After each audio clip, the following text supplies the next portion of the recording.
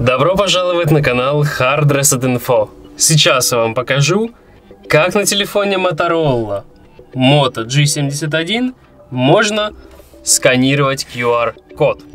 Делается это все довольно просто. Заходим с вами в камеру,